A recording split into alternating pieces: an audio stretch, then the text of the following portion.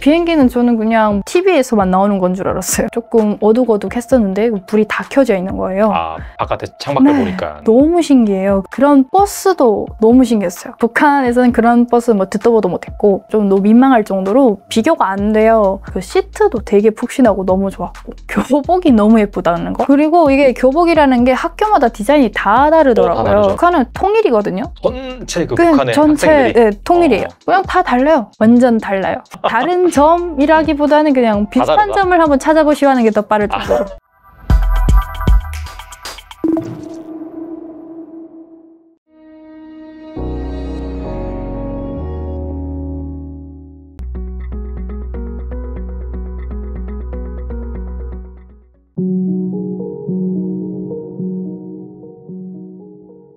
네 서영경님 모셨습니다. 안녕하세요. 아, 네, 안녕하세요. 네, 서영경님 모시고 뭐 북한에 대한 음. 또 실세가 요즘에 또 보니까 뭐 주말에 도발하고 난리도 아닌데 아. 왜 그런 것인지 어, 플러스 이 북한의 현 상황에 대해서 좀 알아보는 시간을 가질 텐데요. 물론 이제 다른 채널에서 많이 나와서 말씀해 주셨지만은 저희 채널은 처음이기 때문에 네, 네. 그 간단하게 소개 부탁드리고 좀 어떻게 탈북을 하게 되셨는지 아, 아, 네, 안녕하세요. 아, 처음 뵙네요. 네. 네, 이름은 서현경이라고 하고요. 올해로 23살인데, 어, 8년 전에 탈북을 해서 지금 대한민국 그 경기도에 살고 있고요.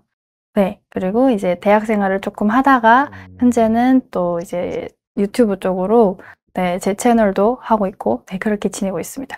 이게 뭐 탈북을 뭐 어떻게 탈북을 했느냐, 이렇게 많이들 물어봐 주시는데, 솔직히 말씀을 드리자면은, 일단 저는 그 당시에 15살이었고요.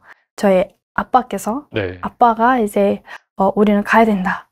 이 나라엔 미래가 없다. 어. 그래서 이제 저희를 다 데리고 온 거거든요. 이제 올 때 저 그리고 4살 아래인 여동생 그리고 그때 당시에 70 그 70살 가까이 되셨던 저희 할머니 음. 이렇게 다 같이 오셨어요. 아. 네, 같이 오고 이제 가족 탈북이다 보니까 조금 어려운 부분도 뭐 있었긴 했지만 일단은 한 번에 다 와서 성공적으로 있어서 지금 현재는 또 행복하게 살고 있습니다. 그때 당시만 하더라도 그 네. 감시 체계나 그런 것들이 그렇게 타이트하진 않았나 보네요. 가족 아, 탈북이 이제 그때 네. 이제 막 타이트하게 쪼이기 시작했던 때예요. 아. 그때 이제 김정일이 죽고 나서 네, 네. 김정은이 집권을 하면서 그 원래 연선 지대가 원래는 그렇게까지 막 단속을 심하게 하진 않았는데 음. 철조망이 한 이렇게 높게 올라가면서 밀수가 다 막혔고요. 어. 그리고 저희 집안 같은 경우는 아빠께서 이제 사무역을 하면서 살던 그런 집안이다 보니까 국경이 막히면은 수단이 없거든요. 아, 그래서 더 이상 못 산다. 네, 네. 그리고 뭐 언제까지 이렇게 억압을 받으면서 살 수는 없는 거잖아요. 이제 아빠 때까지는 뭐 밀수를 하면서 살았다. 근데 뭐 우리 때는 또 어떻게 살지 또 모르는 거니까. 네, 그래서 이제 이 나라에는 미래가 없다. 너희 앞날을 생각하면은 여기 있는 게 아니다. 이러면서 이제 다 같이 다 같이 나온 거죠. 그럼 그때 이제 브로커를 통해서 오신 건가요? 어, 맞습니다. 음. 그 이제 뭐 브로커가 단계별로 되게 많아요. 북한에서 중국 그 넘겨다 주는 브로커가 한 명 있고 그 중국 그 대륙 내에서 이동을 도와주는 브로커가 한 두세 명 정도 있고 음. 그리고 또 뭐 그 어느 어느 루트를 뭐 따라오느냐에 따라서 좀 다르긴 하지만 저희 같은 경우는 브로커가 한 대여섯 명 있었던 것 같아요. 되게 많구나. 네. 어. 이제 이게 뭐 이- 임계점마다 그 포인트마다 브로커가 이제 다른 브로커가 이렇게 안내를 해주거든요. 그래서 되게 많아요 브로커. 그러면은 중국으로 먼저 넘어가신 다음에 네. 그 다음에 거기서 또 나올 수는 없고 제3구로 또 가야 되잖아요. 맞아요. 중국에서 바로 이제 뭐 비행기를 탈 수는 없고요. 음.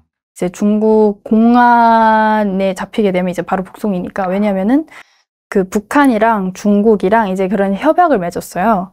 우리 이제 북한에서 탈출을 해서 너희 나라로 이제 뭐 건너가는 사람들이 있으면은 그대로 이제 우리나라로 그 북한으로 음. 돌려보내 달라. 뭐 이렇게 아. 그런 협약을 맺은 게 있어요. 그 네. 정확한 명칭은 제가 뭔지 잘은 모르겠는데 음. 그 협약 때문에 뭐 봤다 하면 그냥 돌려보내요.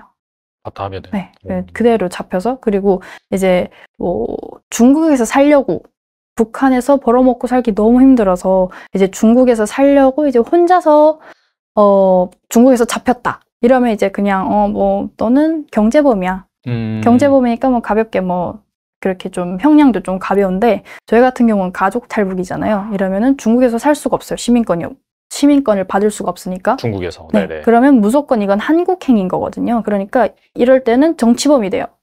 그래서 잡아서 너 이 체제에 불만이 많구나. 너 뭐 종파 분자구나 이러면서 가족체로 그냥 그 정치범 수용소로 보내거든요. 음. 그래서 좀 아빠가 올 때 좀 많이 힘드셨죠. 아, 그 잡히면은 다 뭐. 가족이 거의 뭐 그냥 네. 네. 그리고 이제 우리 뭐 제가 그때 15살, 제 동생이 11살, 그리고 할머니가 70살 이러니까 심적으로 부담이 엄청 많이 됐죠. 그리고 어떻게 본다면 딱 가장이고 남자 혼자고 하니까 네, 아버지께서 네. 되게 많이 힘드셨겠네요. 진짜. 맞아요.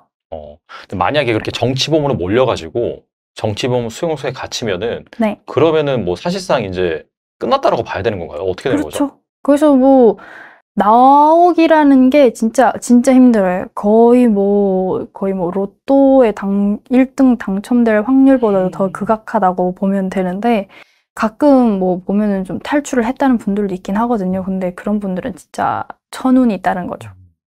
거기서 그러면은 뭐 강제 뭐 고역이란 노역이라든지 그런 걸 하고, 하다가 네, 뭐 그냥 병 들고 다치거나 해서 죽는 건가요? 그렇게 죽는 거예요. 네. 음. 그냥 걸어 들어갔다가 누워서 나오는 거. 시체돼서 나오는 거. 어.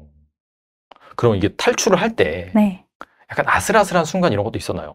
아, 그렇죠. 저희 가족 같은 경우는 이제 그 강을 건너지 않고 저 위쪽 에 계신 분들은 이제 대부분 강을 막 건너서 헤엄쳐서 왔다고 하시는데 이제 저희 같은 경우는 강을 건너지 않고 그냥 순 산길로만 산길로. 걸었거든요. 근데 이제 그, 그 북한이랑 중국에 이렇게 국경이 있을 거잖아요. 음. 네. 국경이 있으면은 그 앞을 그 경, 그 경비대 초소, 그 경비대원들이 지키고 있어요. 음. 그러면은 이제 지키고 있는 거기를 안전하게 넘어야 되는데 그 지키고 있던 그 구간을 갔을 때 이제 하마터면 잡힐 뻔 했던 거죠. 왜냐면은 그 저희가 그 산을 넘던 시간이 뭐 한 새벽 2시? 1시, 2시 뭐 그 사이였어요. 근데 겨울이기도 했고 북한은 그때가 10월 15일이었는데 북한은 그때 되면 엄청 추워요. 막 눈이 내리고 그렇겠네요, 네, 진짜. 진짜 네. 추워요. 음. 그래서 막 2시쯤 되면은 보통 이제 그 야외에서 이렇게 뭐 보철을 서는 사람들이 많은데 춥잖아요. 뭐 방한 용품도 제대로 없어요. 뭐 핫팩 없고 음. 뭐 이런 게 아예 없다 보니까 추우니까 이제 쪼고에 앉았다가 이제 경비대원이 잠이 든 거예요. 근데 이제 그 어떤 데서 그런 근무를 서냐면은 땅을 파고 아. 네, 땅을 파고 그 안에 딱 사람 웅크리면은 딱안 보일 그 정도 깊이로만 땅을 파고 거기서 이렇게 잠들어 있었던 거예요 경비대원이. 그래서 이제 앞으로 이제 그 우리 전진 방향으로 이제 그 우리 진행 방향으로 이제 그 사람이 그러고 자고 있었던 거죠. 아빠가 제일 앞에 섰었고 그, 그 다음에 제가 섰었는데 한 뭐 여기서 뭐 15m 정도 거리 그 앞에서 아빠가 그걸 본 거예요. 음. 그래서 그때 일행이 조금 한 대여섯 명 됐었어요. 왜냐면 저희 일행 외에도 그 아빠 친구분도 한 명 있었고, 그리고 또 뭐 중국 가, 가겠다고 하는 여장, 여성분, 여성분도 한 분 있었고, 그리고 또 뭐 브로커가 한 분 있었고. 그래서 한 여덟 명쯤 됐었거든요. 이 사람들이 깜짝 놀라서 이제 그대로 굳었어요. 왜냐면은 그때가 막 눈도 내렸어가지고 사박사박 소리도 좀 나고, 그 나뭇잎이 마른 게 떨어져서 버석버석 소리도 많이 나고, 네, 네. 밤이니까 조용하니까 소리가 더 크잖아요. 그렇죠. 네. 그래서 조금만 소리를 냈어도 거기서 들켰어요. 그래서 이제 조용히 해라. 이제 진짜 조용히 해라. 앞에 뭐 누가 있다. 이러고 이제 일행 다 얼어서 못- 얼어붙어 있었는데 저쪽 경비대 초소 그 본진 있잖아요. 거기서 누군가 나오는 거예요. 음. 불 딸깍 켜고 네. 그 교대를 하려고. 그래서 와 그때가 제일 아찔했던 기억인 것 같아요. 근데 암튼 뭐 잘 아빠가 잘 유도를 해서 그분이 곤히 잠드셨나 보네요. 본이 네. 잠들었죠. 어. 이제 여덟 명이 사박사박 지나가는데도 깨지도 않고 어. 그대로 그냥 넘어서 철조망을 뚫고 맞죠. 근데 보통 이제 브로커를 끼고 가면은 네. 브로커가 좀 안전한 길로 인도해 주지 않나요? 그 근데 브로커가 그 브로커가 네. 길을 잘 모르는 아, 그런 분이셨어요. 아, 신참이었나 보네요. 네, 딱그그 그 길을 딱 한 번을 가보신 거죠. 그분도 아. 이 길로 가면은 겨울에도 물을 건너지 않고 비교적 안전하게 갈 수 있어. 어, 일단 가다가 동상 걸릴 일은 없을 거야. 이러면서 이제 그 산길을 가ban, 갔는데 이제 그 저희를 안내해 줄 때가 두 번째였던 거예요. 아, 그분이. 네네. 그러니까 애초에 그 뭐 나무도 빽빽히 있고 음. 길을 알 수가 없어요. 사람이 다니는 길이 아예 안 나 있고 그냥 생 산을 그냥 헤쳤으니까 그러니까 그 사람도 몰랐던 거죠. 여기였나? 음. 아니야 저기였던 것 같아. 막 이렇게 막 띨띨하게 그렇게 반응을 하니까 아빠가 너무 답답해서 그냥 그때 그 뭐 달을 보고 아빠가 방향을 찾아서 오, 중국을 와. 건넜거든요. 중국까지. 네네, 네. 뭐 그렇게 네. 그 진짜 그 브로커분이 어. 근데 뭐 그런 길이 있었 있다는 걸 아예 몰랐으니까 저희는 뭐 알려준 것만으로도 고마운 일이긴 하죠. 음. 아무래도 좀 깎아야 되지 않을까 비용을 아이, 좀. 아우. 근데 그분도 이제 네네. 목숨을 걸고 하는 거기 때문에 아. 깎진 않았어요. 그러면은 결과적으로 그렇게 해서 잘 탈출을 하신 다음에 중국에 가서 어느 나라로 넘어가신 다음에 오신 거예요? 이제 그 중국이랑 라오스랑 그리고 이제 태국 요 삼국 과정을 거쳤거든요. 저희는 아, 네네. 진짜 그 이 루트로 사람들이 제일 많이 왔어요. 음. 이때까지는 음, 그 루트로 왔기 때문에 이제 태국에서 비행기를 타고 대한민국으로 들어왔죠. 음. 그래서 아무튼 간에 안전하게 그 네. 모든 가족이 맞죠? 네. 잘 이제 한국으로 오신 건데 많은 한국민들이 이제 한국에 들어와서 네네. 좀 가장 인상 깊었던 걸로 뭐 인천공항이나 아니면 뭐 인천대교 건너는 그런 뭐 음. 상황이라든지 아니면 국정원에서 일들을 꼽는데 아직도 좀 기억에 남는 에피소드가 있다면 무엇이 있을까요? 에피소드라. 그게 떠오르네요. 이제 태국은 되게 더운 곳이잖아요. 그렇죠. 네. 엄청 네, 덥잖아요. 네. 그 1년 365일 내내. 근데 뭐 거기서 이제 그분들이 그러는 거예요. 그 저랑 저 일행이랑 같이 한국으로 들어오는 다른 분들이 또 많았어요. 거기. 그분들이 이제 그러는 거죠. 야, 한국은 겨울에도 따뜻하대. 북한만큼 그렇게 춥진 않대. 이러는 음, 거예요. 그래서 아, 따뜻하구나. 제가 그때 떠올렸던 따뜻하다의 기준은 태국이었어요. 아. 어, 네. 태국보다 뭐 추워도 조금만 더 쌀쌀하겠지 정도였어요. 근데 저희가 입국을 11월 23일에 했거든요. 그럼 겨울이잖아요. 그러, 그러 니까 뭐 11월 23일? 아, 그래도 따뜻하다고 했으니까 음, 얇게 입어야겠다. 이러고 다른 분들이 다 패딩을 챙기는 동안 저는 맨투맨 이렇게 얇은 거 한 장만 아이고, 입었어요. 네네. 이거 그 입을 필요 없어. 한국 따뜻하대. 이러고 저는 혼자 그걸 이렇게 입었거든요. 근데 아무도 말을 안 해줬어요. 어, 춥다고. 아무도 야 너 그렇게 입었다간 진짜 추워. 이걸 아무도 말을 안 해줬어요. 어, 그래서 그냥 뭐 비행기를 올라서 이제 딱 내렸는데 도착을 해서 딱 내렸는데 너무 추운 거예요. 그래서 첫인상이 이거 너무 춥군. 약간 이거밖에 없었어요. 아. 따뜻하지 않고. 그 약간 그냥 조금 북한보다 따뜻하다였는데 그냥 태국만큼 따뜻하다로 이렇게 받아들였기 때문에 좀 그게 제일 기억나는 일인 것 같아요. 제일 음. 처음 도착했을 때. 아, 그리고 나서부터는 이제 뭐 딱히 에피소드랄 건 없고 음. 그냥 접하는 모든 게 저한테는 다 처음이잖아요. 일단은 뭐 비행장이 그렇게 넓다는 것도 처음 알았고 비행기도 처음 타봤고 그때 난생 처음으로 그리고 비행기는 저는 그냥 뭐 TV에서만 나오는 건 줄 알았어요. 아, 이게 일반 일단 일반 국민이잖아요. 그 시민이잖아요. 그렇죠. 네. 이런 사람들도 뭐 이 여권만 있으면 탈 수 있다는 것 자체가 너무 좀 충격적이었고 음, 이런 건 좀 특별한 이런 권, 권한이 있는 사람들만 타는 건 줄 알았는데 나도 탈 수 있는 거였구나. 음. 이게 너무 충격적이었고 그리고 비행장이 그렇게나 넓고 인천공항으로 왔거든요. 근데 조금 어둑어둑 했었는데 불이 다 켜져 있는 거예요. 아, 바깥에 창밖을 네, 보니까. 네. 음. 너무 신기해요. 그리고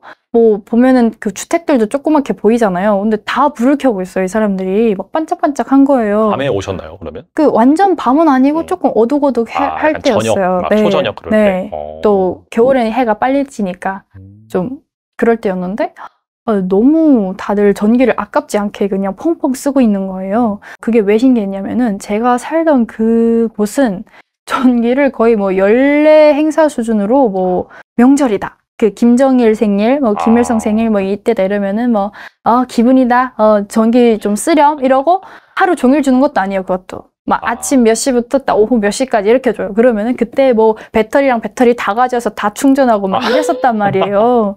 그러니까 너무 신기한 거죠. 이게 오. 전기를 빵빵 쓰는 게. 그리고 나서 이제 그 국정원에서 그 선생님들이 나오셔가지고 그 보통 검은 정장을 많이 입으시거든요. 네네. 딱 나오셔가지고 뭐 대한민국에 오신 것을 환영합니다. 그러면서 뭐 이탈하지 마시고 버스로 이동해 주세요 하면서 그 빨간 커다란 버스 있잖아요. 음. 그걸 타고 저희가 국정원으로 이동을 했어요. 아, 가기 전에 일단 그 건강 검진을 하긴 했는데 네네. 일단 그런 버스도 너무 신기했어요. 왜냐면 북한에서는 그런 버스 뭐 듣도 보도 못했고 그 그냥 이게 기교 고속버스 같은 거 말씀하신 건가요? 맞아요. 어. 그 관광 버스 있잖아요. 네네네. 그런 걸 탔었는데 아, 아니, 이거 좀 비교하는 것 자체가 너무 실례일 정도로 좀 너무 민망할 정도로 비교가 안 돼요. 그래서 이런 버스는 아예 난생 처음 타봤어서 그 시트도 되게 푹신하고 너무 좋았고 너무 그 내부도 너무 쾌적하고 너무 좋았고 이랬는데 커다란 병원으로 저희를 이제 통째로 데려가서 이 신체 검사, 건강 검진 다 해주시더라고요. 그냥 그때 먼저 오 하는 사이에 다 진행이 돼서 약간 되게 기분이 약간 붕 떠 있는 상태였어요, 완전. 말씀해 주신 걸로도 뭐 충분히 한국에서 뭐 북한과 비교해서 네. 상당히 좀 다르다는구나 라는 네. 걸 느낄 수가 있었고 약간 국정원에서 뭐 그때 학생 신분이었으니까 그쵸. 학생을 대상으로는 좀 다른 질문을 한다든지 아니면은 좀 아. 질문의 강도가 약하다든지 주로 이제 뭘 물어보죠 학생 같은 경우는 아, 뭐 강도가 좀 약한 건 아무래도 있긴 하겠죠. 뭐. 음. 근데 이제 대체로 강조 근데 이거, 이거 말해도 되나요? 어 근데 질문 어떤 질문을 했는지는 나와서 다 괜- 말씀을 괜- 해주셔가지고 괜찮나요? 아, 네. 일단은 뭐 너가 뭐 태어나서부터 내 기억이 있을 때부터 이때까지 살아온 걸 쭉 말해버려요. 뭐 아, 학교 유치원 어느 스토리를. 유치원 어, 다녔고 어. 학교는 어느 학교를 다녔고 뭐 그동안 누구 누구랑 지냈고 뭐 살았던 집은 어땠고 뭐 엄마 아빠 너 내가 봤을 때 너희 엄마 아빠는 뭐 어땠고 뭐 이거를 계속 물어봐요. 왜냐면은 거기서 조금이라도 어긋나면은 너가 근데 저번에는 이렇게 말했잖아. 근데 왜 오늘은 이렇게 말하는 거야? 음. 약간 좀 다른 부분도 이렇게 또 캐치해서 물어보기도 하고 이게 계속 비교를 하면서 이제 그 살았던 기간 동안 공백이 있는지 없는지 이거를 보시는 것 같거든요. 왜냐면 그동안 이제 그 어린애들도 혹시나 그 간첩일 수도 왜 있으니까 훈련 받을 수도 음, 있으니까 음, 네 음. 그래서 그걸 계속해서 물어보시는 것 같아요. 제가 받았던 질문은 그런 게 끝이었어요, 그냥. 근데 뭐 성인들은 좀 다르겠죠. 좀 더 심도 있게 물어본다던가. 네, 근데 일단은 저는 좀 가벼운 질문들만 받았습니다. 학생 때 오셨으니까 이 네. 대한민국에서 고등학교 시절을 보내신 거잖아요. 네, 그죠? 네. 고등학교 1학년부터 하신 거예요? 중학교 아니요, 그 중학교 2학년부터. 2학년부터? 아. 그러면 이 북한 학교와 네. 이 대한민국 학교에 당연히 다른 점을 네. 이제 보셨을 것 같은데 대표적인 차이점이 뭐가 있을까요? 대표적인 차이점. 뭐 근데 다 달라서. 예, 진짜 정말 이거 놀랐다. 어, 네. 학교가 이런 곳이었어? 아, 하는 그런 게 있을 거잖아요. 체벌이 없다? 선생님이 세- 체벌이 학생들을 없다. 때리지 않는다. 아. 때렸다간 큰일 나잖아요. 근데 그게 저 때만 해도 저도 많이 맞았어요. 네. 근데 이게 많이 뭐. 음. 그것도 약간 요 2000년대 초반까지만 해도 살짝씩 있었다고 맞아요, 하더라고요. 맞아요. 근데 네, 이제 네. 제가 다닐 때부터는 음. 아예 없더라고요. 오. 예, 좀 때렸다면은 막 큰일 나는 그런 분위기라서 아니 애들이 저렇게 개겨도 아 어, 애들이 아. 저렇게 표현은. 네네. 저렇게 나대도 선생님이 말만 그렇게 하네 아, 저걸 안 때린다고? 어떻게 안 때리지? 나 같으면 한 대 쥐어 박았다. 이러면서 속으로 막뭐 아. 이런 생각도 했었고 왜냐면은 북한에서는 음. 아이들이 조금 나대잖아요? 이러면 선생님이 뭐 하냐고. 그 지시봉 있잖아요 지시봉. 그걸로 이렇게 때리기도 하고 그 뒤에 겨울철에는 장작을 그 교실대에 쫙 쌓아둬요. 그럼 네네. 장작으로 때리기도 하거든요 막 와. 그리고 거기 막 제설 기구도 막 있고 막 삽 곡괭이 뭐 이런 거 있는데 삽자루로 패기도 하고 막 그래요 눈에 보이는 작대기 같은 걸로 다 그냥 패는 다. 때려요 그냥 어. 의자 의자로 때리기도 하고 근데 또 반대로 네. 이제 좀 애들이 머리가 크면 뭔데 우리를 때리냐고 뭐 그런 걸로 또 선생님을 오히려 패기도 하고 막. 북한에서 그래요? 네, 그래요. 그럼 그, 그 학생 어떻게 되는 거예요, 그러면? 뭐 딱히 처벌은 그닥, 아, 그래요? 네. 어, 되게 약간 그런 위계질서나 이런 게 탄탄하게 잘 돼 있고. 아니에요. 안 그래요, 진짜? 이게 근데 뭐, 저, 어. 그 지방마다 또, 지역마다 또 다르거든요. 평양이라면 그런 일은 일어날 수도 없는 일. 근데 아, 저희 같은 경우는 음. 양강도, 아이고. 담 걸려가지고. 네. 네, 네. 양강도 네. 끝자락이었고, 뭐, 뭐, 조금 당, 중앙에서 좀 먼 곳이었다 보니까 조금 엉망이에요, 여기가. 아. 그런 부분에 있어서는 약간 좀 통제가 잘 안 되는 곳. 만약에 그러면은 뭐 대한민국 같은 경우에는 네. 경찰에 신고할 수가 있잖아요. 아우, 그런 거 아예 없어요, 그러면? 네, 그 경찰이랑 비슷한 기능을 수행하는 곳이 안전부라고 있긴 한데 걔네들은 이제 뭐 돈이 안 되는 일은 안 합니다. 약간 좀 뇌물을 준다든지 네. 그런 식으로 해야지 액션이 나오는. 네네. 음. 아 그리고 네. 이제 진짜 진짜 웃긴 게 뭐냐면은 진짜 신기한 점 여기서 무슨 갑자기 내 안전에 무슨 일이 있었다. 뭔가 아무튼 신변에 무슨 일이 생길 것 같다. 112 누르잖아요. 네. 북한은 그 신고할 그게 없어요. 아. 번호가 없어요. 그럼 그냥 자기가 알아서 해야 돼요. 네, 그 그냥 가까운 그 동네 그 파출소처럼 여기 안전부 그런 데가 있거든요. 그럼 음. 가까이에 가서 약간 민원 접수를 하고. 아, 근데 그 접수를 해도 건들 건들 나가지 슬쩍 보고 뭐 돈 안 돼? 이러면 다시 들어가요. 일도 해결도 안 되고. 그러다 보니까 뭐 그런 일이 일상 다반사고 그냥. 오히려 하극상이 발생을 네, 하는구나. 네, 어. 맞아요. 뭐 사람 누구 하나 죽어도 딱히 뭐 이걸 안 걸렸어 이러면 그게 이슈화 되지 않아요. 네, 근데 만약에 내가 누구 아니 그 네, 누군가를 죽이는 게 막 발견이 됐어요. 이게 좀 과- 사회적으로 뭐 문제가 됐어요. 이러면 이제 뭐 걔는 북한에서는 또 사람 죽이면 또 사형이거든요. 아. 뭐 그렇게 되긴 하는데 네. 안 걸리면은 이게 뭐 문제가 되지도 않아요. 그 사건을 누가 둘추지도 않고 음. 네. 아무튼 그런 곳입니다. 그러다 보니까 뭐 학교라는 곳도 뭐 아까 제일 신기했던 게 체벌이 없던 거. 그리고 또 점심에 학교에서 급식을 주는 것. 음. 네. 그리고 교복이 너무 예쁘다는 거. 아. 네. 그리고 이게 교복이라는 게 학교마다 디자인이 다 어, 다르더라고요. 다 다르죠. 네. 북한은 통일이거든요. 전체 그 북한의 전체 학생들이 네, 통일이에요. 어. 이제 소학교 애들은 다 똑같은 교복, 전국이 다 똑같은 교복, 뭐 중학교 애들 다 똑같은 교복, 고등학교 애들 다 똑같은 교복, 뭐 이래요. 중고등학교 합체해가지고 그 소학교 때는 좀 주름 이렇게 있는 플리츠 치마를 입는데 음. 이제 중고등학교 올라가면은 그냥 그 H라인 치마 있잖아요. 네. 그거만 입거든요. 아. 그리고 이제 소년단 넥타이는 소학교 애들이 하는 것. 그리고 좀 중고등학교는 이게 없고 음. 대신에 이제 청년 배지가 있어요. 청년단 배지. 아. 그거가 통일이에요. 전국 그냥 공통. 그러다 보니까 학교별로 다르다는 게 너무 신기했어요. 저는 이게 음. 이것도 너무 신기하고. 그리고 뭐 냉난방 시스템 아, 이게 있죠. 네. 천장에 음. 이게 있는 게 너무 신기하고 음, 에어컨 같은 이게 거 뭐. 여름엔 에어컨, 여름 그 겨울에는 히터 이게 다 음. 되잖아요. 근데 북한은 주- 교실 중가운데 그 난로가 있어요. 난로. 그래서 겨울이 되면은 이 근처에도 애들이 이렇게 빼곡하게 앉거든요. 이 난로 근처에 있는 애들 너무 더워서 죽으려고 하고 저 지금 아. 문이나 창문이나 이렇게 사각에 앉은 애들은 너무 추워서 죽으려고 하고 아, 이게 이래요. 밸런스가 안 맞는구나. 네. 그래서 이제 그 애들끼리 돌아가면서 이렇게 앉거든요. 어. 이번 주에는 내가 여기서 꿀을 빨았으니까 다음엔 내가 너랑 바꿔줄게 이렇게 뭐 이렇게 해요. 그리고 또 뭐 겨울에는 이 난로를 피워야 되는데 이것도 학생들이 피우거든요. 그러니까 난로 당번이 있어요. 아침에 7시 반에 등교인데 그러면은 뭐 7, 6시 반까지 와서 미리 피워둬야 애들이 다 따뜻하게 할 수 있잖아요. 그러니까 6시 반까지 얘는 학교로 와야 되고 네, 그리고 또 되게 웃긴 그 역할 중에 그러니까 뭐 여긴 뭐 학급 반장이 있, 는 네, 거잖아요. 네. 반 반장. 그렇죠. 그런 반장밖에 없잖아요. 그런 위원이. 근데 북한 그 학교에는 이제 반장 외에도 뭐 사상위원 이라고 오. 해가지고 학생들도 그 런 걸 해요. 네 오. 해요. 그 사상위원만 무슨 명칭이 뭐였는지 다 까먹었어요. 하도 오래돼가지고. 네네네. 아무튼 그런 역할이 뭐 몇 개 있어요. 근데 걔네들은 또 아침에 일찍 와서 하는 게 뭐냐. 그 교실 그 정면에 그 칠판 위에 한국은 태극기가 있지 않습니까? 근데 북한은 그 김일성, 김정일 그리고 이제 둘이 같이 있는 초상화 세 개가 이렇게 걸려 있어요. 그거를 빡빡 닦아야 돼요. 어. 먼지가 있잖아요. 네네. 이제 그 일, 뭐 매일매일 이제 그 먼지 있는지 이렇게 쓱 검열을 하러 온단 말이에요. 소년단 지도원들이. 그러면 먼지가 있다. 이러면은 이 반은 이제 하- 선생님이고 학생들이고 그냥 고달파지는 거예요.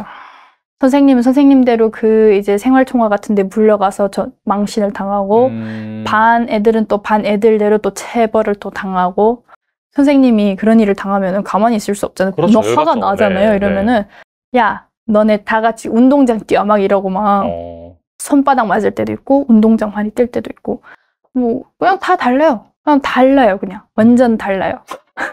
네, 다른 점이라기보다는 그냥 비슷한 다르다. 점을 한번 찾아보시오 하는 게 더 빠를 정도로 북한에는 급식이 있나요? 없습니다. 없구나. 네, 아, 그래서 싸우는구나. 어. 네, 도시락을 싸오거나 좀 네네. 못산 애들은 이게 싸우기가 좀 창피하잖아요. 이러면은 집을 가서 먹고 온다든가. 집이 가까운 애들은 먹고, 가- 먹고 오기도 하고 다시 그렇게 하죠. 그러면은 한국에 그런 딱 가서 급식에 딱 들어갔을 때 어떤 점이 놀랐어요? 그러면? 음, 일단 급식 quality가 상당히 좀 놀라웠어요. 이게 좀 학교마다 다르긴 하지만 일단 저희 학교 같은 경우에는 좀 잘 나왔었거든요.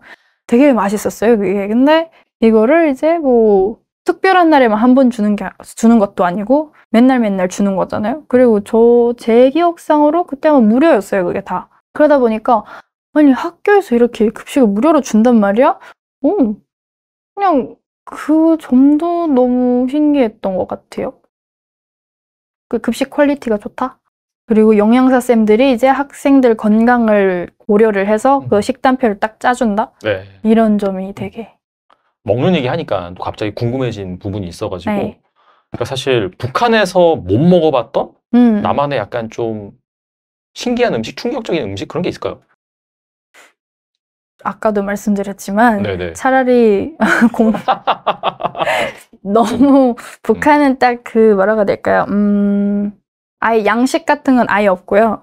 아. 서양식은 아예 없고 네네. 디저트도 아예 그 거의 없다고 보시면 되고 그러다 보니까 뭐 여기 한국에서 흔히 볼 수 있는 김치 그리고 뭐 생선 반찬이라던가 뭐 고기 반찬 뭐 이런 거는 북한에서 먹어봤지만 여기 오니까 급식으로 막 그 햄버거도 주고 막 치킨도 주고 치킨이 없어요 북한에는 아, 치킨이 없어요? 없어요 대한민국 1등 야식이 치킨인데. 네 없습니다 오, 뭐 통닭 삶아서는 많이 먹지만 백숙 같은 거. 그대로 튀겨서 먹지는 잘 않았어요. 제가 살던 지역에서는. 네, 또 지역별로 또 다를 수도 있습니다. 음. 음. 식이 그냥 다 다르다 보니까 음. 그리고 맛도 달라요. 어, 거기서 먹었던 김치 여기 오니까 예? 김 김치라고 약간 어, 뭐가 달라요? 그러면 구체적으로 약간 뭐 고춧가루가 더 많이 맛이- 들어갔다든지. 아 모르겠어요. 아 그런 건 잘 모르겠고. 같은 레시피로 해도 네. 그러니까 북한에서 제가 예를 들면 제가 요리사였어요. 네. 거기서 말- 만들던 음식을 여기 와서 똑같은 레시피로 만들었는데도 맛이 달라요. 오. 그러다 보니까 맛도 많이 다르고 그냥 저한테는 그냥 다 처음 먹어보는 맛이었어요. 한국 와서 먹은 모든 음식이 다. 입엔 잘 맞으셨어요? 네, 저는 먹는 거에는 딱히 북한에서도 곱창 이런 것도 먹어요? 아니요. 곱창은 많이 안 먹고 순대를 많이 먹어요. 순대를 많이 먹고. 네. 어. 곱창 같은 경우에는 한국 이제 사람 되게 좋아하잖아요. 맞아요. 좋아하고. 많이 드시잖아요, 맞아요, 그거를. 맞아요. 네. 근데 저는 곱창은 본 적도 없어요. 어. 그걸로 다 순대를 다 만들기 때문에. 음. 그 북한은 이제 뭐 여기는 막 파스타도 많이 먹고 점심으로. 근데 그러잖아요. 근데 북한은 밥을 한국인이 밥을 먹어야지. 그밥 밥을 진짜 많이 먹는 것 같아요. 남한식 순대는 안에 당면이 들어가잖아요. 근데 이게 저는 처음에 순대가 아닌 줄 알았어요. 이거 뭐라고 불러? 순대요? 아니 아니야 순대 아니야. 이거 뭐라고 불러? 이럴 정도로 아, 북한은 그럼 밥이 들어가요? 순대 안에 밥이 들어가요. 피순대. 아, 어, 뭐 그렇게 먹는구나. 네. 어. 그 중국식 순대 드셔보셨어요? 아니요. 아 중국식 순대랑 뭐 비슷하다고 보시면 돼요. 그리고 현재 대학생 신분으로 네. 서울의 hot place 같은 경우에도 많이 네, 다니시는 네. 걸로 알고 있는데 그런데 이제 한국 길거리 걸어보고 약간 놀란 점 뭐가 있을까요? 길거리를 청소하는 그런 분들이 다 계시다. 아 환경 미화. 환경 미화. 어. 뭐 북한에는 그 뭐 그런 분들이 없거든요. 그런 역할이. 그래서 네네. 뭐 그냥 더러워요. 더럽고. 그리고 여기는 뭐 어딜 가도 웬만한 완전 저런 척척 산골이 아닌 이상은 다 포장 포장도로잖아요. 그렇죠. 네. 그래서 뭐 빗자루 이렇게 쓱쓱 쓸어도 되고. 근데 북한은 포장도로를 어 전국 지도가 이렇게 있어요. 여기서 포장도로만 이렇게 표시를 한다고 하면 약간 손에 꼽을 정도로. 이게 도로가 잘 안 돼 있다 보니까 조금 비가 오면은 질척질척 신발 다 그냥 나가리 되고 나가리 음. 좀 적절한 아 표현이 괜찮습니다. 뭔가 그냥? 자연스럽게. 네. 그래 되고 막 네 그냥 도로도 다 포장이 돼 있는 것도 신기하고 그리고 가게가 진짜 많아요. 진짜 많죠. 네. 화플 같은 경우는 더 많잖아요. 막 그렇죠. 빼곡이 그냥 있잖아요. 그리고 막 간판도 가게마다 다 있고. 근데 북한은 뭐 그런 음식점이 잘 없어요. 막 이제 뭐 냉면 가게 같은 경우는 이제 그 뭐 국가적으로 뭐 어 너 어느 지방 가서 낭- 냉면 가게를 차려 해서 좀 뭐라고 해야 될까요? 그런 위임받은 사람들이 좀 냉면 가게를 크게 하는 하고 어. 그리고 그 외에는 다 그 뭐 가정집에서 음식을 만들어서 식당을 하거든요. 음. 그러니까 여기처럼 가게가 따로 있는 게 아니고 내가 사는 집이 식당이에요, 곧. 아, 하긴 뭐 자본주의가 아니니까 네. 장사를 공식적으로는 네, 한다는 게 말이 맞아요. 안 되니까 맞아요. 가게가 있을 리가 없겠네요. 맞아요, 맞아요. 진짜 뭐 그냥 뭐 정부나 지자체에서 음. 운영하는 거 아니 아니고선. 맞습니다. 그리고 어. 그런 간판 같은 경우도 네. 그런 이제 개인이 운영하는 가게는 간판을 안 써요. 아. 그래서 아름아름 가는 거죠. 어, 냉면 먹고 싶어? 냉면을 먹고 싶어요? 그러면은 어 냉면 저 집에서 하던데 맛있더라. 이렇게 하면 몇 층 몇 호 이렇게 해가지고 가고 그렇게 해요. 그러니까 이제 공식적으로 장사를 할 수 없으니 그냥 네. 동네에서 아름아름 네. 아, 저 집이 뭐 백반은 잘한다더라, 뭐 어 맞아요. 된장찌개 맛있다더라 하면 네, 그거 가서 네. 이제 먹고 이제 돈도 네. 주고 아니면 뭐 딴 걸 준다든지 그런 식으로 네. 아 운영이 되는구나. 그리고 음. 또 이제 하플에 많은 게 또 이제 막 클럽이라든가 음. 저 유흥가 뭐 그런 게 많잖아요. 그렇죠 대한민국 때 네. 노래방 많고 클럽 많고 또 수- 젊은 친구들이 이제 다 같이 모여서 막 노는 그런 술집 많고 그냥 그런 게 다 낯설었어요. 음. 이게 사람이 이렇게 많이 모여 있다는 것도 저는 너무 신기했고 뭐 사람이 이렇게 많냐 막 이러면서 막 그 좀 북한은 좀 다 같이 모여서 왁자지껄하게 좀 재밌게 노는 거를 그러니까 모이는 거를 좀 그렇게 안 좋아해요? 네, 안 좋아해요. 보여서 다? 흩어지라 이러고 아, 왜냐면은 모여서 모여서 잠깐 이제 막 그런 오락 같은 걸 놀게 되면은 또 놀다 보면은 또 안 좋은 물이 든다. 음. 그리고 보통 이렇게 모이면은 좀 친한 사람들끼리 모이면은 이제 뭐 한국 노래라던가 좀 다른 노래를 틀고 춤을 춘다던가 이러거든요. 음. 그러면 이게 단속 대상이에요. 이게 그렇죠, 네. 단속에 걸려들면은 뭐 벌 경하면 약하면은 벌금 얼마 내고 풀려나지만 조금 심한 경우에는 이게 단련대도 가게 되고 단련대를 가면 육체적으로 좀 힘든 것이고 네. 음. 그 그것보다 좀 더 심하게 되면은 예를 들어 남한 노래를 틀었다 이러면 정치범 수용소가 아 나만 노래 한 번 틀었다고? 네 이게 신고가 그렇게 되면은 야. 그, 너 남한 노래를 틀었, 들었네? 이러고 USB 같은 걸 보통 들으니까 다 네. 보이거든요 이게 네. 남한 노래네 정치법이나 정치범 이렇게 돼서 좀 힘들어요. 그래서 많이 모이지도 않고 음. 네. 좀 다르죠. 많이 다르죠. 그럼 북한 학생들 은 어떻게 놀아요? 아, 이 네. 부분에 대해서는 굉장히 좀 할 말이 어이가 없기도 한데 네. 이제 뭐 대학생들이죠. 음. 어 이제 뭐 대학생들 같은 경우에는 잘 모르겠어요. 뭐 그분들 어떻게 놀았는지 모르겠지만 아. 저는 그때 학생이었으니까 그 중고등학생 입장에서 말씀을 드리자면은 여기 애들은 뭐 서울에도 가고 막 사진도 예쁘게 막 찰칵찰칵 찍고 막 맛있는 것도 먹고 뭐 그러고 하루 종일 놀다가 밤에 들어오잖아요. 근데 이제 북한 아이들 같은 경우에는 그렇게 놀 곳이 없다 보니까 이제 뭐 밖에서 꼬무술 놀이를 한다거나 아. 한국의 60년대 모습이라고 하시더라고요. 많은 분들이. 꼬무줄 놀이, 땅 따먹기, 아. 딱지치기, 그리고 뭐, 뭐, 뭐 그런 놀이들. 전통 놀이들 비슷한 거. 그러고 놀고, 이제 밖에서 막 그렇게 흙바닥에서 그러고 놀다가 그냥 일찌감치 들어가서 자요. 이게 이제 네. 완전히 뭐 유치원생이나 이제 그런 애들이 노는 게 아니라 네. 다 큰 성인도 사실상 그렇게 논다. 성인들은 잘 모르겠습니다. 대학생 정도 되면 약간 성인이라고 볼 수 있잖아요. 그쵸? 네. 근데 그분들은 잘 모르겠어요. 음. 뭐술 마시겠죠. 마시는데 이제 뭐 그런 데서는 못 마시고 그런 가게가 없다 보니까 뭐 그냥 소매대에서 술을 그렇게 사가지고 다 같이 어디 뭐 어디 따로 모여서 음. 먹, 먹고 논다던가. 근데 이제 대신에 좀 그 사람들은 모이면은 왜 춤추고 많이 놀거든요. 아 북한 사람들. 네. 오. 어른들이 모이면은 춤을 추고 많이 놀아요. 그러다 보니까 뭐 어느 가정집에 모여서 이제 네, 망을 한 명은 망을 보면서 논다던가. 왜냐면 아. 노랫소리가 쿵짝쿵짝 들리면은 누군가가 신고를 해 어떤 놈이 그 어. 마을 이렇게 마을이 있어요 네네. 동네가 하나 있어요 그러면 네네. 그 중에 이제 뭐 보위부 그 스파이가 한 뭐 적어도 10명은 있다고 보시면 돼서. 음. 네. 그래서 쿵짝쿵짝 들리면은 스파이가 어딘가에 숨어 있는 스파이가 얘 얘네 뭐 하고 논다. 곧 한국 노래도 들릴 것 같다. 와봐라. 이러거든요. 그러면은 저 멀리서 한 명이 망을 봐야 돼요. 아. 그래서 이게 놀다가 저 멀리서 뭐 보인다고? 쏜살같이 들어가서 야 떴다 이러면은 딱 끄고 이제 네, 아무- 다 끄고 아무것도 어. 안한 것처럼 아 이러고 앉아가지고 막 보이부 그 들어왔어요 이러면 어 어쩐 일로 오셨냐고 막 능청스럽게 막 음. 그렇게 하고. 그리고 이제 좀 보이부 알잖아요 이- 얘네 놀다가 딱 봐도 지금 논 나죠. 분위기인데 네, 네. 그러면 음. 이제 좀 걸고 넘어질 수 있으니까 이제 좀 찔러주는 거죠 막 담배라든가 뭐 아. 돈이라든가 뭐 이렇게 파티하고 뭐 네. 있으면 먹을 것도 좀 주고. 아유 좀 고생이 많소 음, 이러면서 막 주고. 이렇게 주고 어. 그러면 또 에이 모이지 말라 이러면서 고- 또 가고 음. 그냥 일상이에요 그게 그게 일상이다. 네. 어. 그이 밖에 한국에서 약간 정착해서 사시면서 좀 네. 충격받았던 것, 놀랐던 것 있을까요? 이 밖에요? 네. 너무 많은데요? 네, 일단 뭐 오늘도 이제 그 대중교통을 이용해서 여기를 왔거든요.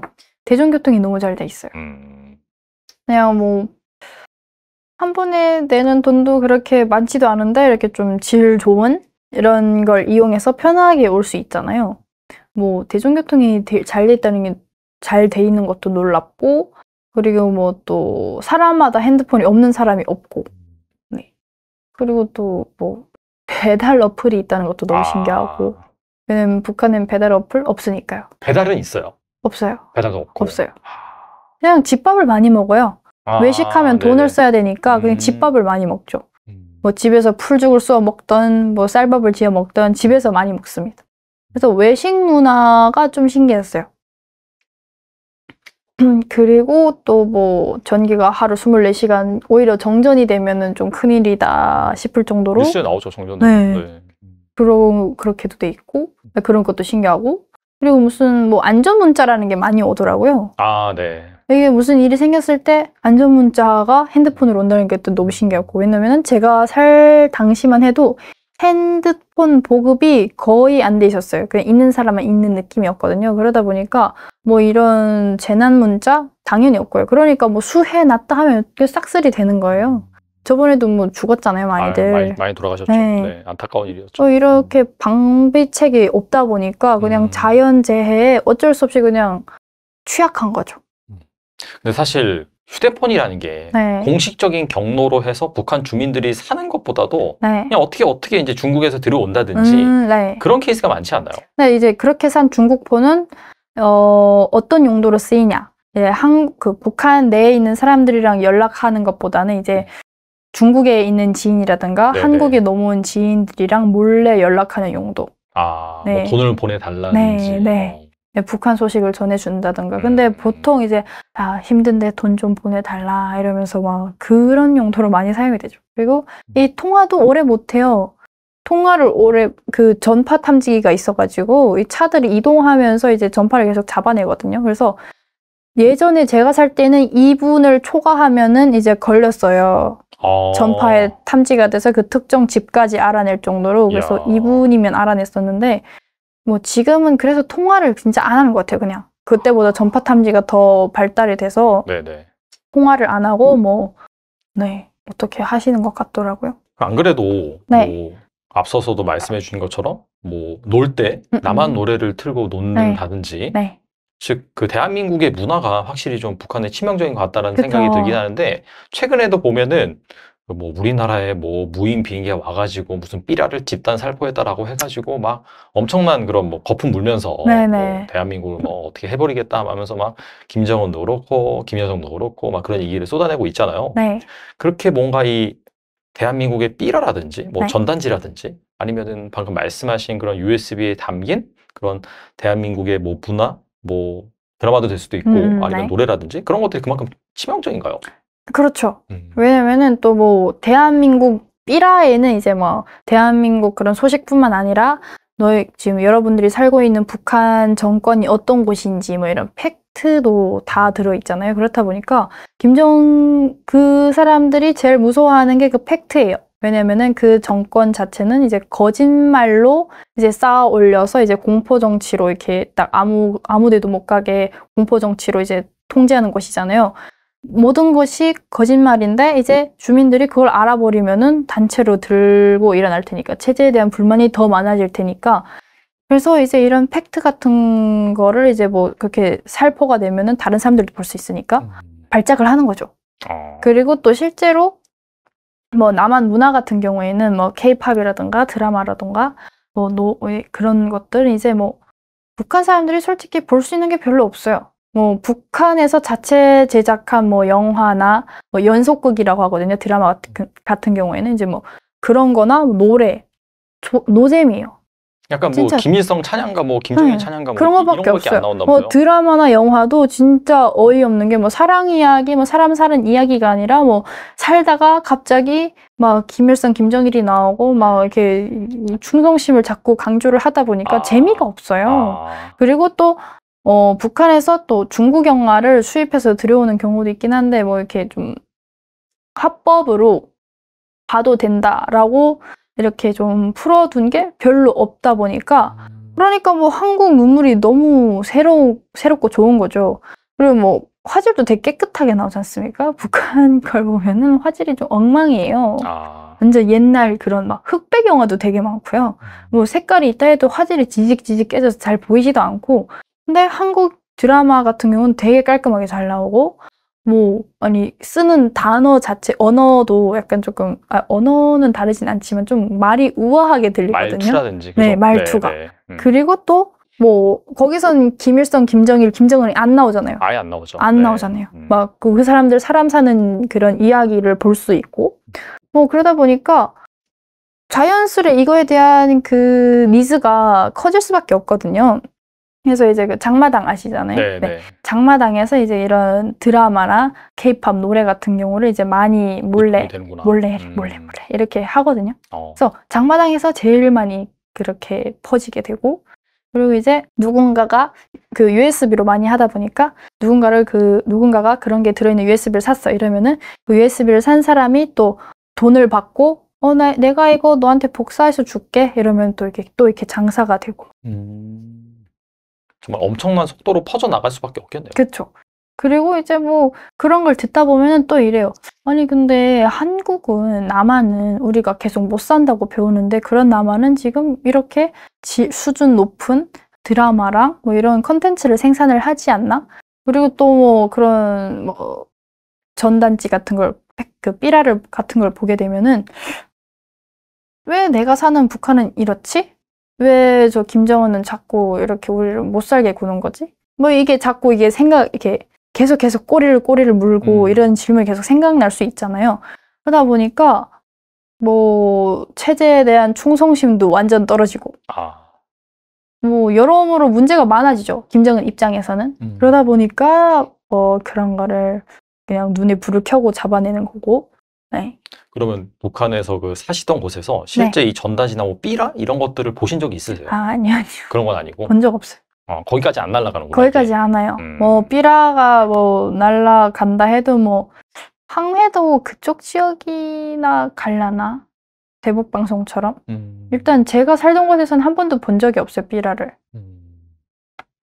그러면은 그 방금 말씀하신 USB에 담겨 있는 네. 그런 드라마나 뭐 영화나 케이팝 이런 것들은 접하신 거고요. 네. 어.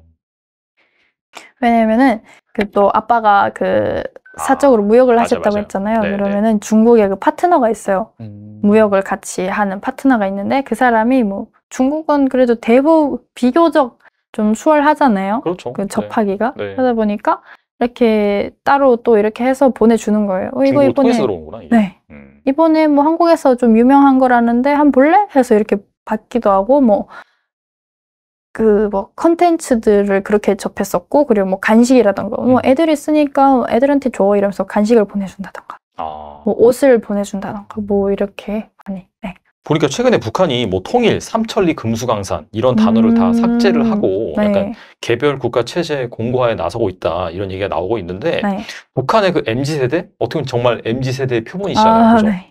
장마당 세대의 충성심이 예전 같지 않다 그런 네. 얘기들이 나오고 있어요.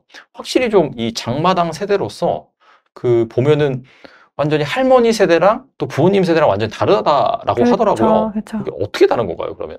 이게 뭐 음. 일단 MZ 세대는 아예 그 배급이라는 거를 아예 접하지를 못했어요. 구경도 못했어요. 듣지도 못했고 네. 그냥 옛날에는 배급을 줬다더라.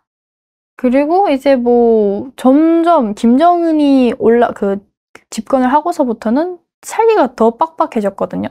그러다 보니까 뭐 나 살기 너무 바쁘, 바쁜데 자꾸 저기서는 뭘 해준 게 있다고 자꾸 우리를 충성을 하라고 하고 뭐 뭘 이걸 이거 내라 저거 내라 음. 뭐 계속 요구밖에 안 하잖아요 당이 그러니까 이 불만이 많아질 수밖에 없어요.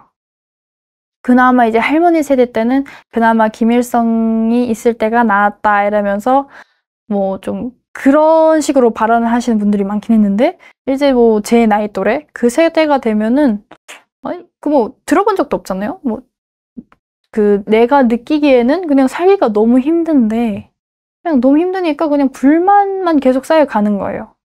뭐 하다 하다 이제 그런 얘기도 있더라고요. 뭐 일제 강점기 때보다 더 힘들다. 아, 진짜요? 네. 어. 그때는 그래도 뭐 농사를 하면은 뭐 음. 농민 같은 경우에는 농사를 하면은 뭐 소작료를 제외하고는 자기가 다 받을 수 있었잖아요. 어. 그런 것도 아니고 음. 이제 농사지면 그냥 거기서 김정은이 이제 뭐 농민들이 나라의 미래입니다 이래가지고 쌀을 다 걷어가요. 막 아. 군수 그런 군대들도 먹어야 되고 뭐 네. 자기들도 배 채워야 되고 이러니까 음. 농민들이 농사를 지으면은 그냥 뭐 100을 지었다면 110을 뜯어가니까 먹을 게 없어요. 그냥 이런 식이다 보니까 기존 세대들이랑 좀 많이 다른 것 같아요. 점점 더 힘들어지니까. 그 북한이 사상 교육이나 이런 거 엄청나게 시키잖아요. 네네. 근데 그럼에도 불구하고 뭐 장마당 세대 같은 경우에는 장마당을 통해서 그런 대한민국의 문화라든지 그걸 많이 접하다 보니까 그게 네. 잘안 먹히는 거라고 볼 수 있는 건가요? 아, 그렇죠. 음. 그 이제 뭐 예전에는 좀 기술도 별로 없다 보니까 좀 이런 걸 보는 루트가 뭐 좀 거의 한 루트? 음. 루트가 딱 하나밖에 없었다 뭐 이런 느낌이라면은 지금은 네, 네. 그나마 좀 이렇게 좀 발전도 그 나라도 좀 되고 있다 보니까 음. 뭐 접할 기회가 좀 더 많아진 것 같아요. 그러다 보니까 이런 걸 많이 본 사람과 안 본 사람의 차이인 거죠. 이걸 많이 본 사람은 야 이렇게 사는 나라도 있는데 우린 왜 이렇게 살아야 돼? 이걸 좀 깨는 거죠 머리가. 음. 그렇다 보니까 예. 그러면 그게 USB로 이제 보통 대한민국 같은 경우에 노트북에 꽂아서 보잖아요. 네. 그러면은 북한에서 어떻게 봐요? 그런 것들을? 그거 이제 뭐 핸드폰에 꽂아서 아. 그 유심 있잖아요. 이렇게 네네. 조그만 거. 네. 그거에 이제 그런 데이터를 넣어서 이제 핸드폰 보급이 좀 많이 됐으니까 아. 핸드폰으로 제일 많이 보고 그리고 그런 거는 이제 처분하기도 쉽거든요. 뭔가 갑자기 막 가택 단속이 막 들이닥쳤다 이러면 그냥 삼켜도 되고 네, 처리하기가 쉬워요 이런 거는 그렇죠. 너무 아궁이 작다 집어 넣어도. 되고 너무 작다 네. 보니까 찾기도 힘들고 사실. 네. 음. 그리고 보니까 평양에서 달러와 거래 비중이 점점 뭐 높아지고 있다. 그리고 음. 중, 중국 접경지에서는 위안화 거래가 또 활성화되고 있다라고 하는데 이 북한의 경제 상황 실태는 어떤지 되게 궁금하거든요. 아 일단 뭐 제가 있을 때도 북한 그 뭐 김일성 얼굴이 그려져 있는 돈보다 음. 그 뭐냐 만경대 그림 있는 그 돈보다 이제 그 중국 위안화가 더 많이 통용이 됐었어요. 어, 사람들도 뭐 이거 얼마예요? 이게 얼마냐고 물어보면은 뭐 1위안 이렇게 대답할 정도로 그냥 뭐, 뭐 북한 돈 몇만 원이 아니라 그냥 중국 돈 1위안 뭐 이게 좀 더 귀하게 쓰는 느낌이었던 것 같아요. 평양 그쪽 지역을 이제 앞지대라고 부르는데 이쪽에서는 달러를 진짜 많이 쓰고요. 이게 좀 왜 그런지는 모르겠는데 그쪽은 달러를 많이 쓰더라고요. 그리고 제가 살았던 지역은 이제 중국이랑 같이 이렇게 있다 보니까 그때 또 밀수도 엄청 많이 하던 그 시기다 보니까 위안화를 많이 썼었어요. 뭐 경제 상황이라 근데 경제랄 것도 진짜 웃긴 게 북한은 뭐 공산당이잖아요. 일단은 네, 네, 사회주의고 그러다 보니까 뭐 사유재산이라는 게 없는 그런 체제였어요. 였는데 아, 지금은 아니다. 네, 지금은 아니죠. 어, 이제 그 고난의 행군 전에도 장마당은 있긴 했지만 네네. 이제 그 이후로 이제 배급이 아예 끊기다 보니까 사람들이 배급만 받고 살던 사람들이 이제 뭐 자기 장사라는 걸 하기 시작했어요. 어, 그러니까 옷감이랑 쌀이랑 좀 바꾸자 이렇게 했던 거가 이제 그게 돈이 되고 이게 계속 이렇게 사경제가 생기게 된 거죠. 그래서 뭐 이제는 뭐 공산주의도 아닌 것 같고요. 아, 네, 북한은 공산주의는 아니고요. 장마당이 중심이 된 거죠. 그러다 보니까 예전에는 여성들이 집안에서 발언권이 별로 없었어요. 남자들이 다 뭐 밀수를 하- 하든 네네. 그렇게 장사를 해서 집안을 먹여 살렸는데 음, 장마당은 여성들이 많거든요. 어. 그냥 다 여성이라고 보면 돼요. 장마당에 아, 남성은 없어요. 남성은 없었어요. 오. 제가 제가 어렸을 때도 장마당 계속 갔었는데 네. 남자를 본 적이 없어요. 어. 거기서 뭐 이렇게 짐을 끌어주는 아저씨가 아닌 이상은 음. 이렇게 장 하는 것도 여자, 사는 것도 여자. 그러다 보니까 여성들의 약간 가정 내 발, 발언권이 조금 강해졌다. 그러면 거기에서 좀 한국 물품? 네. 한국 뭐 그런 상품 같은 거? 그런 것도 인기가 있는 편일까요? 아, 그쵸. 이제 제일 인기가 많은 건 쿠쿠 밥솥. 밥솥. 밥솥, 아. 네. 그 쿠쿠 제품을 대부분 되게 좋아해요. 그 말하는 밥가마라고 하거든요. 아, 거기도 이제 그 음성 기능이 있는 밥솥이 들어가는군요. 네, 그 압력 밥솥이라는 것 자체가 밥이 되게 맛있잖아요. 그렇죠. 네. 반질이라고. 어. 북한이 이제 아궁이에 불을 떼서 밥솥으로 이제 밥을 이렇게 그렇게 해 먹는 게 보통이에요. 평균이고. 평균이고. 근데 이제 좀 여유가 있는 집들은 그 대용량 배터리로 이제 밥솥을 아, 써요. 전기가 잘 안 들어오니까. 네. 음. 그리고 이제 뭐 옛날에 또 전기가 자주 들어올 때도 이제 밥솥을 몰래 몰래 썼었죠. 근데 음. 밥솥 같은 경우가 전력을 많이 소비를 한다고 못 쓰게 했었거든요. 아, 밥솥이 원래 전력 소비 많긴 해요. 네, 그 못 쓰게 했어요. 아. 게다가 한국 제품이다 난리 나죠. 이거는 이제 뭐 처벌받는다기보다는 그거를 회수해 가면은 지들이 또 집에 가서 써요. 그럴 정도로 한국 밥솥 그 말하는 밥 가마 어, 쿠쿠 밥솥 이게 어. 인기가 되게 많아요. 어. 뭐 제일 인기 많은 건 밥솥. 그리고 이제 뭐 여성분들 같은 경우에 또 화장품, 한국 화장품도 네. 유통이 돼요. 거기서? 살결물이라고 하는데 스킨 로션 아. 그거를 되게 많이 써요.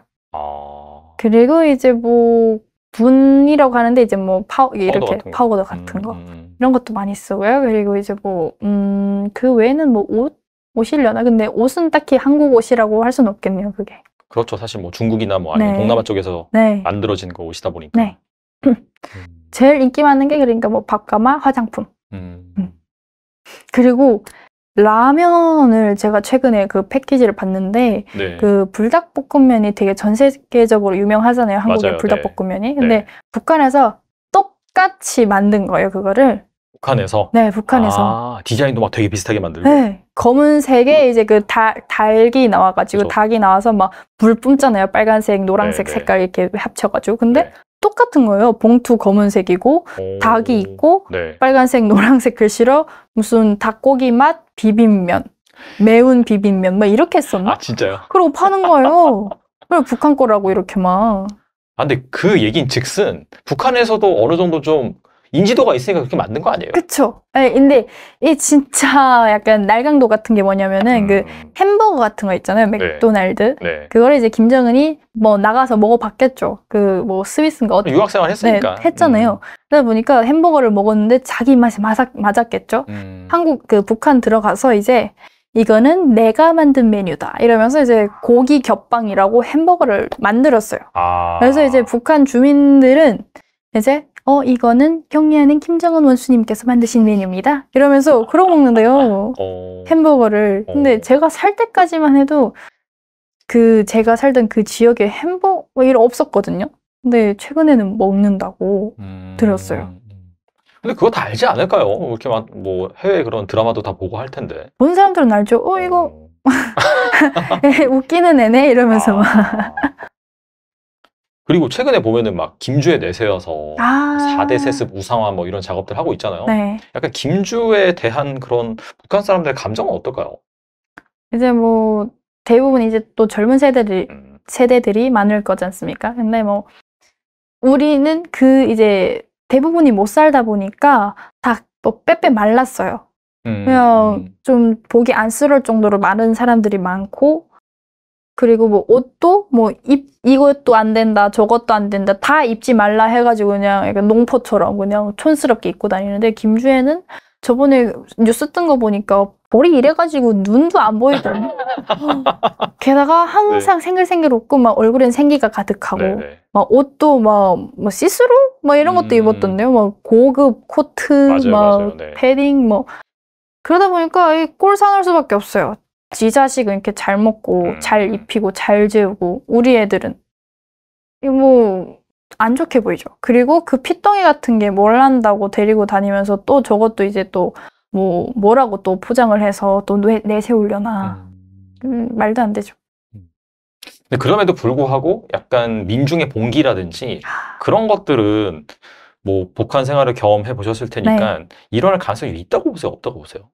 약간 북한 시스템 자체가 네. 그런 게 일어날 수가 없는 시스템이에요. 왜냐면은 그것 때문에 서로가 서로를 감시하게 만든 거거든요. 아, 김일성이. 네네. 그 김일성 때부터 이렇게 이런 체제가 유지돼 왔었기 때문에 제가 아까 그 말씀 중에 그또 말한 내용이 있지만 그 한 동네가 있다면은 여기에 간첩이 몇 명 있을지 알 수가 없어요. 음. 그러니까 내가 만약에 이제 PD님이랑 음. 아, 뭐라고 불러야 되죠? 진행자님 해주세요. 진행자. 네, 진행자님이랑 이제 제일 친해요. 그래서 야, 우리 이제 여기서 못 살겠다. 들고 일어나자. 그 한 명 한 명 모으는 거야. 이래서 음, 얘기를 했어요. 그래서 진행자님이 누군가를 데려왔어요. 네네. 뜻이 맞는다 이 사람이랑 네, 네, 네. 이 사람은 믿어도 된다. 이래서 또 얘기를 했어요. 모으자. 다음날 세 명 동시에 쓱싹. 세명 중에 누가 스파인지 몰, 모르는 거예요. 그 그렇게 고자질한 사람은 또 약간 뭐, 혜택을 받을 수도 이런. 거 좀 받을 수 있고 어. 계속 그렇게 스파이 짓을 하는 거고 아, 이러다 보니까 예, 모이려면은 사람들이 다 같이 으쌰으쌰 뭐 이렇게 해서 돼야 되잖아요. 음, 그 누가 그거 스파인지 모르니까 음. 구조적으로 이게 그렇다면 이게 정말 가족 중에서도 음. 네 정말 그 뭐 부모 자식 간 그런 거 아니고서는 뭔가 맞습니다. 속 시원하게 터너 네. 오면서 뭐 북한 체제에 대한 비판이라든지 아니면 탈북하자라든지 그런 말을 하기가 되게 힘들겠네요, 진짜. 그쵸 그쵸. 친구들끼리는. 네. 이 실제로 이제 북한 사람들은 뭐 동네 주민들끼리 되게 친하긴 하거든요. 그래서 뭐 낮 동안에는 이제 주부들이 내려와서 뭐 이렇게 도란도란 얘기도 하고 그러는데 내 남편 뒷담, 내 자식 뒷담은 까도 이제 김정은 뒷담은 안 까요. 아, 절대 못 가는구나. 절대 못 음, 가요. 음. 아무리 친하다고 아. 느껴도 어. 언제 어디서 듣고 있을지 몰라요. 누군가. 근데 북한이 정말 심각하다고 생각이 되는 게 최근에 그 쿠바전 뭐 주재관이어가지고 이제 네. 대사관이어가지고 리일규 뭐 총사가 이제 네. 탈북해서 말한 게 뭐 북한의 상위 1% 네. 0.1%도 그냥 대한민국의 중상층보다 못 산다. 네. 넥타이맨 꽃제비다 그런 식으로 표현을 그쵸. 했잖아요. 그러니까 상류층도 그만큼 어려운 건가요? 그러면? 상류층은 이제 뭐 그나마 낫긴 하겠지만 그 사람들은 대신에 보는 눈이 좀 김정은이랑 가까운 곳에 살잖아요. 가까운 곳에 사는 사람들은 항상 살얼음판이에요. 음. 언제 그 이제 북한에서 많이 쓰던 말이 있는데 코에 걸면 코걸이, 귀에 걸면 귀걸이. 어, 한국에서도 많이 쓰긴 하죠. 네. 네. 근데 이제 뭐 사람 그 당 간부들 이제 그 척살 될 때마다 많이 쓰거든요. 아. 뭐 별로 잘못하지도 않았구만. 갑자기 뭐 그런 걸로 사성을 꼬투리 잡아서 음. 너는 종파 분자네? 가. 온 가족 그냥 다 쓸어버리고. 어. 그냥 이게 살얼음판이에요. 그래서 언제 언제나 잘 보여야 되고 그래서 이제 당 간부 솔직히 이 사람들도 본 게 있으니까 이 사람들이 더 잘할 거 아니에요. 김정은 이 개자식 이러면서 알 거 아닙니까? 네네. 근데 들고 일어날 수 없는 게 이 사람들이 더 해요. 이제 음. 서로 약간 나쁜 놈이란 건 알지만 어떻게든 잘 보여야 연명을 할 수 있으니까 무슨 누군가가 김정을 욕을 하네 그러면 또 가서 쪼르르 가서 원수님 저 자식이 이러면서 약간 이렇게 하면은 이제 걔- 그 뒷담 깐 사람은 이렇게 척살되고 나는 이제 간신 간신으로 이제 살아갈 수 있는 거예요. 그러다 보니까 당 간부들이 좀 더 살얼음 판이에요. 뭐 아. 생활 수준은 뭐 저 같은 이런 그냥 평범한 사람들보다 좀 높긴 하겠죠. 굶는 일은 거의 없겠죠. 음. 왜냐면 그런 사람들은 또 뭐 날이면 날마다 뭐 또 받는 게 있어요. 또 뭐 이런 뒷돈도 많이 받고 음. 그리고 뭐 국가적인 큰 그런 명절 날에는 또 선물도 많이 받고 아. 그 사람들한테는 뭐 배급이 조금씩 가긴 한다고 네, 제가 들었어서 네. 그 사람들은 뭐 생활 수준은 그나마 낮겠지만 이제 심적 위축감, 위압감 항상 불안 속에서 네. 살 수밖에 없겠네요. 맞아요. 언제 또 몰려가지고 뭐 맞아요. 강등을 당한다든지 아니면 맞아요. 수용소로 보내진다든지 심하면 총살당할 수도 있고. 네. 그리고 이제 뭐 권력이 있는 사람들 얘기고 그리고 또 이제 북한에서 좀 잘 살다 온 사람들도 있을 거잖아요. 맞아요. 네. 그러면 이제 한국 분들 그럼 너 북한에서 잘 사는데 왜 왔냐? 이렇게 물어보면 짜증이 확 나요. 이 진짜 잘 나가는 사람이 있잖아요. 그 계속 주시 대상이고 아 네. 오히려 끌어내리려고 계속 하고 음. 힘들어요. 아. 네. 다 못 사는데 왜 너는 그렇게 우뚝 잘 나가? 이 이러니까 숨이 막히는 거죠, 그냥. 아. 그리고 뭐 지금은 지금 때에는 잘 살았어요. 근데 이 부가 언제까지 갈 수 있을지를 모르는 거예요. 음. 그래서 이제 뭐 저희 저희 집안 같은 경우는 막 굶고 막 쫄쫄 굶고 이런 집안이 아니었거든요. 네. 그래도 좀 나름 살면서 이제 좀그 여유도 있고 그런 집안이었는데 이렇게 왔다고 하면 그럼 왜 왔어? 이렇게 물어봐요 실제로. 음. 그러면 이제 저걸 한 대 칠 수도 없고. 물어보지 마세요 이제. 어. 그리고 이제 최근에 뭐 탈북민이나 뭐 중국에 있는 북한 사람 등 북한 내부에 정통한 사람들 혹시 그분들을 통해서 듣는 최근에 이 북한 상황 뭐 있을까요? 음, 아, 뭐, 아빠가 뭐 개인적으로 뭐 연락을 누군지는 모르겠는데 계속 네, 하, 네. 하더라고요. 네. 들어보면은 진짜 너무 힘들대요. 어. 그냥 예전에 그냥 그 저희가 살던 동네가 밀수 왕초 어. 동네거든요. 그냥 사람들의 주된 수입원이 밀수였어요. 아, 그거 안 하면 못 사니까 사실. 그, 그거 네. 막히니까 할 게 없는 거예요. 이 남자들이 그나마 배 내밀면서 야 나 밀수하면서 그래도 너희 먹여 살렸잖아 이러고 다녔는데 음, 다 막히니까 이제 너무 힘든 거죠. 특히나 남성분들 같은 경우에는 일자리가 없어지면 극도의 우울감이 생긴다고 하더라고요. 맞아요. 네.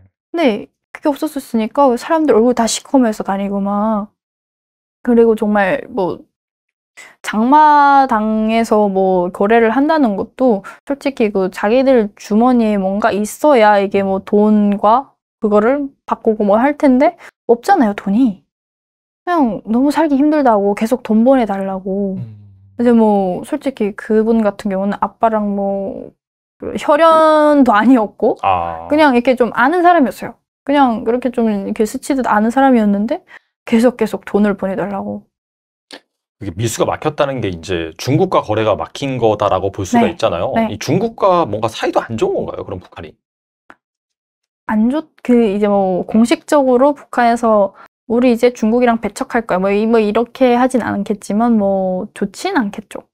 근데 뭐 제가 여기서 다 알 수는 없지만 아무튼 북한은 어쨌든 중국이랑 러시아 사이에서 줄타기를 계속 할 수밖에 없거든요. 그러니까 뭐 아, 지금 좋다고 해도 뭐, 뭐 내년엔 안 좋을 수도 있고 이래요. 음. 계속 왔다 갔다 계속 상황이 이러니까 그러니까 중국과의 그런 공적인 무역을 막은 건 아니고 사무역을 막, 막은 거예요. 아. 연선을 통해서 이제 음. 개인들이 돈 벌 수 있는 수단을 이제 불법적으로 네, 돈 네. 벌수 있는 수단을 그걸 막은 거지. 음. 이제 그 북한에 그 세관이 있을 거잖아요. 그걸 그렇죠, 막은 네. 건 아니에요. 음. 네.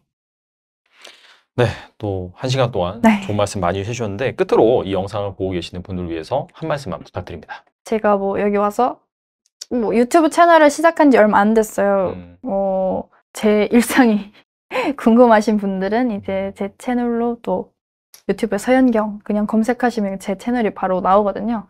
네, 좀 관심 있으시면 놀러 와주시면 또 감사한 부분이고요.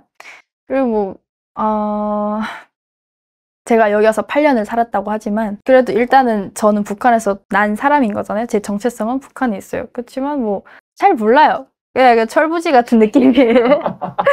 솔직히 오늘 이것도 막 네네. 갑자기 뭐 어, 너무 전문가 같아 막 이러면서 오. 약간 뭐라 해야 될까요? 안 맞는 옷을 입은 느낌? 아. 그래서 제 채널에서는 뭐 이런 얘기보다는 좀 더 제 데일리한 음. 일상을 보여준 느낌이라서 실망하지. 브이로그 같은 네 그런 느낌? 브이로그 네 실망스럽지 않을까 싶긴 하지만 약간 뭐 그런 컨셉인가요? 약간 탈북 소녀의 네뭐 대한민국 생활 적응기 약간 맞아요 아, 그런 정확합니다 어, 네 아, 재밌는 거 많겠네요 그러면. 그런 거예요 네 네네. 재밌는 에피소드가 많으니까 네. 채널 명은 뭐예요? 그냥 제 이름 서현경 아 서현경. 네. 서현경 TV 좀- 아니면 그냥 서현경? 서현경 서현경. 네. 아 그렇구나. 어. 조금 고민이 되게 많았는데 그냥 돌고 돌아 서현경이 돼버렸습니다 알겠습니다. 뭐 저희 뭐 투자 채널이긴 하지만은 또 네. 북한 이슈에도 워낙 관심 많으시니까 또 또 여러분들이 재미있어하는 주제로 음. 앞으로 계속해서 이 브이로그를 또 완성해 음. 나가실 거니까 많은 관심 또 부탁드리고요.